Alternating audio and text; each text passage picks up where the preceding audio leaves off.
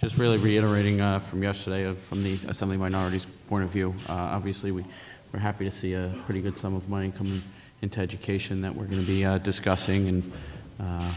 our priorities, as we said yesterday, are hopefully to put as much of that towards the GEA as, as possible to uh, move towards